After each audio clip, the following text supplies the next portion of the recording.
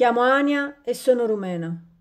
Mi hanno cacciato dal funerale del mio amante e l'ultimo uomo che ha avuto mi ha solamente ingannato dicendomi che avrebbe divorziato. E questa è la mia storia. Accominciamo. La mia infanzia non è stata per niente facile. Ho sofferto molto. Mia madre aveva cinque figli con due uomini diversi.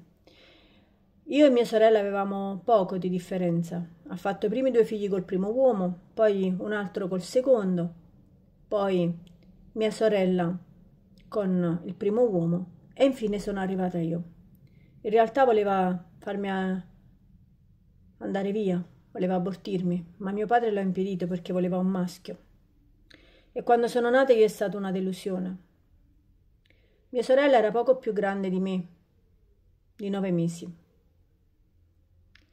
Lei ha fatto sempre tantissime differenze tra di noi e io mi chiedevo sempre che cosa avessi fatto di male, di cosa avessi di, sba di sbagliato rispetto a lei.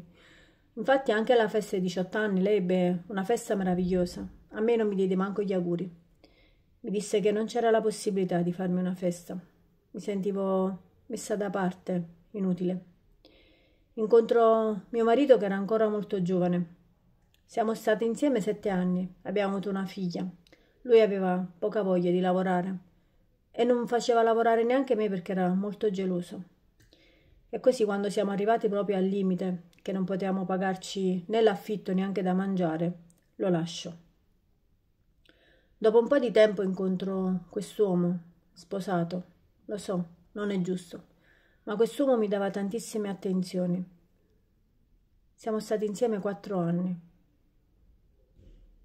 Loro erano dei miei clienti perché io lavoravo in un ristorante. Una volta lui venne con la moglie. Mi sentì molto male. E mi sentì molto male anche quando andai a casa sua sapendo che quella era casa della moglie.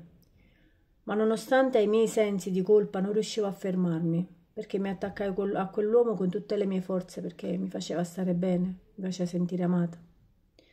Mi ricordo ci sentimmo un pomeriggio e mi disse comprami le sigarette, vieni a casa. Ridevamo, scherzavamo. Tutti sapevano che stavamo insieme, anche i suoi amici. E mentre andavo a casa sua, mi chiamò un suo collega di lavoro e mi disse che lui ha avuto un infarto ed era morto sul colpo. Mi senti male. Il giorno del funerale volevo andarlo a salutare, ma i suoi amici mi cacciarono.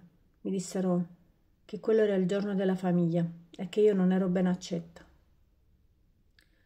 Setti malissimo, mai mi sentivo morire. Facevo due lavori, facevo fare due sport a mia figlia proprio per tenerla occupata, non le facevo mancare niente, ma dentro di me mi sentivo ormai un'altra donna, troppo dolore. Dopo un po' di tempo incontro quest'altro uomo, rumeno, è un po' più grande di me.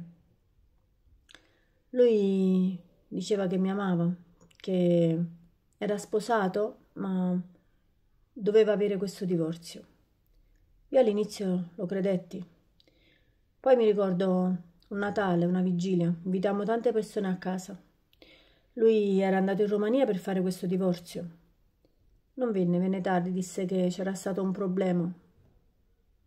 Quando lui tornò io gli chiesi immediatamente le carte del divorzio. Lui mi disse prima che era andato il fratello, che c'erano stati dei problemi con i documenti. Poi, visto che insistevo così tanto, mi disse che la moglie alla fine non voleva più il divorzio. Capì che mi stava prendendo in giro, che in realtà io per lui ero solo l'amante e non avrei voluto di nuovo passare tutto quello che aveva passato con l'altro uomo. Capì di essere stato preso in giro nuovamente. Ed è per questo che faccio questo video. Faccio questo video per dire di non credere agli uomini, soprattutto agli uomini sposati quando vi dicono che lasceranno la vostra libertà, che lasceranno sua moglie per stare insieme a voi, perché non lo faranno mai. Purtroppo noi ci accontentiamo delle briciole, speriamo, ma sono speranze vane, perché la verità è che gli uomini che lasciano le mogli sono veramente rare. È difficile, non impossibile, ma difficile.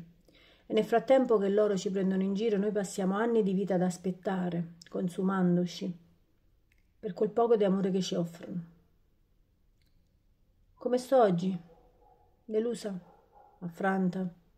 Fortunatamente mia figlia oggi è una donna indipendente che ha grandi soddisfazioni e questo mi riempie il cuore. E chissà che magari un giorno non riesca a incontrare un uomo che sia sincero e che mi ami e che non mi dica più bugie. Buona vita.